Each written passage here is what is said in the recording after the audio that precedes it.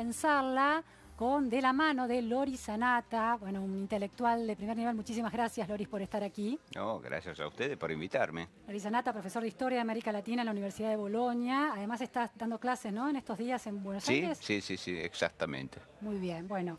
Loris, te planteo, la semana pasada hubo una gran polémica, el viernes, porque a partir de un espectáculo de Caetano Veloso en un teatro porteño, el público, que era muy antimacrista y anti Rodríguez Larreta, que es el jefe de gobierno de la ciudad de Buenos Aires, salió cantando cánticos, eh, los cánticos de algunos de los cánticos de campaña de este, la fuerza del Frente de Todos en la ciudad de Buenos Aires e inundó, digamos, de alguna manera ese espectáculo, por lo menos a la salida, con pues, ese posicionamiento ideológico.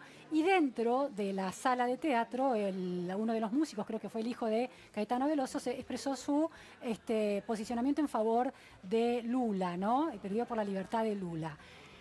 ¿Es un problema para la vida democrática que la vida privada o la vida pública que no tiene que ver con lo estrictamente político se vea inundado por lo político o es una oportunidad?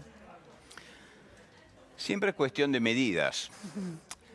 O sea, yo no contestaría de forma definitiva. Es normal que las esferas se crucen entre ellas. Es normal que la esfera pública y la esfera privada se influencien mutuamente. Es normal que la esfera política y la religiosa se influencien mutuamente. Eh, ahora, el espectáculo que se vio en ese caso, sin embargo, me parece que cruza el límite de lo virtuoso y entra en el territorio del patológico. ¿Qué quiere decir? en el sentido de que un, pueblo parcial o sea, en este caso un pueblo que aprovecha de una ocasión pública que se identifica con una causa política, pero que en ese momento no fue a participar de un acto político, le impone su visión a todo el pueblo transformándose a sí mismo o pretendiendo transformarse a sí mismo en todo el pueblo. Y entonces, bueno, la complejidad se transforma en nosotros contra ellos.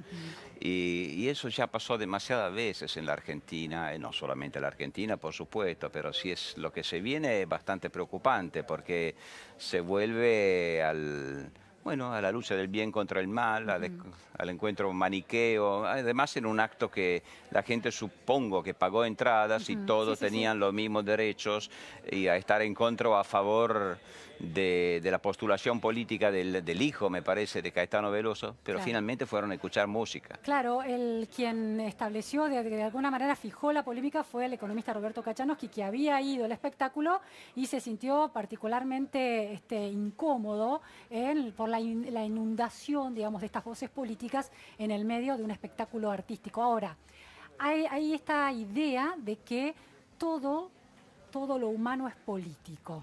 ¿Hasta qué punto es eso así? Cuando empieza a impactar en las individualidades y en la libertad individual, ¿es un riesgo? Yo creo que si todo es político, entonces nada es político. Es decir, ¿qué quiere decir que todo es político? Eh, eh, yo creo que la política tiene una esfera suya, un lenguaje suyo, canales suyos para expresarse. Ahora, pretender que todo sea político es la base de todo totalitarismo. Entonces yo como individuo, ¿dónde termino? Soy sometido a un orden que me supera porque tengo una función en una visión del mundo que me supera.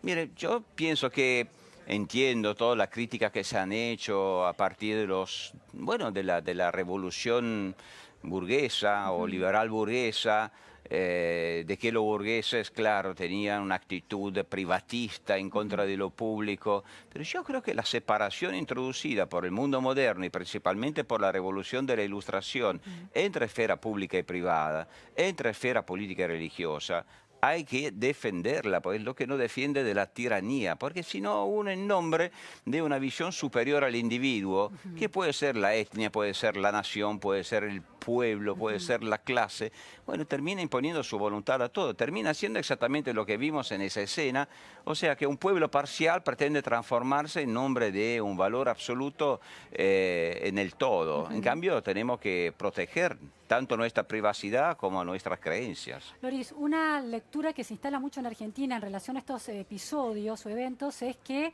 hay un punto en que la Argentina es fascista. ¿Cuánto de fascista tiene o es una lectura demasiado exacerbada? o imprecisa, ¿no? Si todo es fascista, nada lo es también, ¿no? Sí, tal cual, obvio.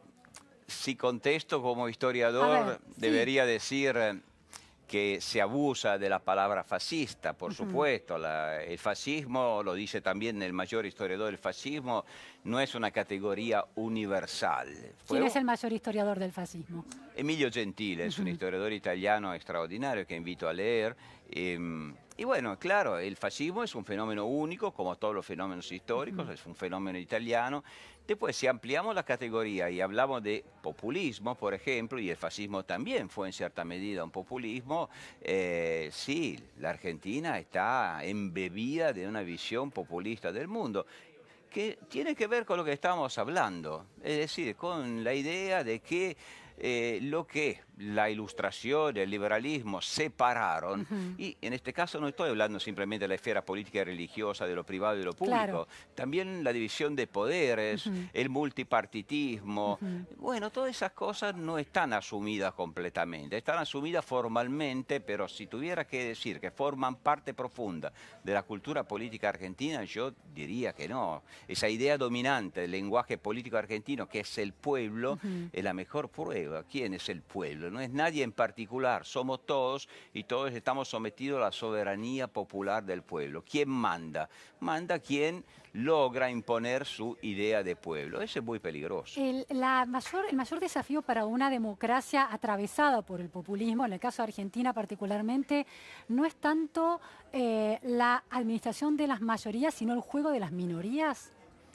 Bueno, Respetar a esas minorías y administrar ese juego. la democracia es compleja, pero se basa sobre algunos puntos firmes y bastante sencillos. El primero es que el poder debe ser repartido, no puede estar concentrado solamente en un lugar. O sea, división de poderes es para impedir la tiranía. La segunda es pluralismo, o sea, la ciudadanía debe tener garantía de, de que en nombre de una mayoría alguien no imponga una vez más su tiranía.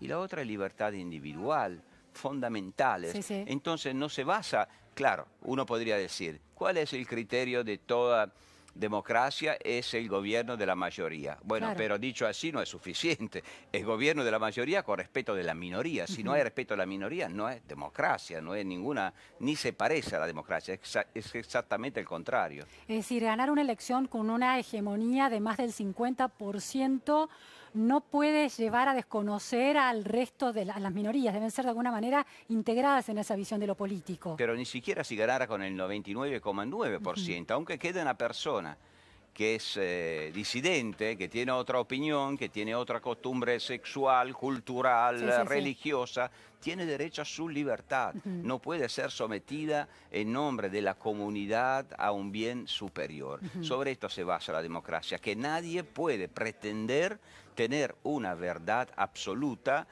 por encima de la voluntad de los individuos minoritarios. La Argentina peronista, ¿no? Con estas hegemonías peronistas instaladas a lo largo del siglo XX y sostenidas este, en, en- en esta etapa, desde el regreso de la democracia, ¿tiene eh, todavía mayor dificultad para ese juego mayorías y minorías por el hecho de ser peronista? Sí, yo digo que sí. Ahora, desde el retorno a la democracia menos que antes, claro. No estamos hablando de la etapa de la, de la comunidad organizada, cuando el peronismo había llegado por libres ele- elecciones al gobierno, pero terminó gobernando como un partido único. Y tampoco los peronismos, hablo al plural de los años 70, todos tenían una visión extraordinariamente autoritaria e intolerante. Eh, desde los 80 yo no sé si hubo una conversión democrática del peronismo que tiene muchas almas, como sabemos, pero sin duda tener que vivir en democracia impone límites y reglas que a lo mejor, bueno, al peronismo no le gustan, pero lo tiene que respetar en cierta medida.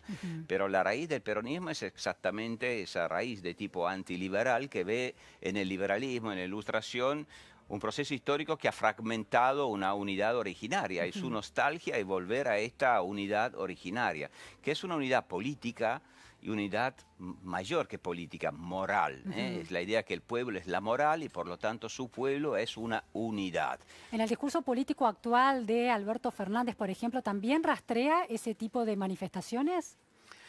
Yo debo decir la verdad, no viviendo en la Argentina conozco muy poco del, del discurso político de Fernández. eh, estoy leyendo los diarios y me parece que como un poco ya pasó en el pasado, cuando los peronistas no se reúnen para derrotar a sus adversarios, después se pone el problema de su interna cuando, cuando irán al poder.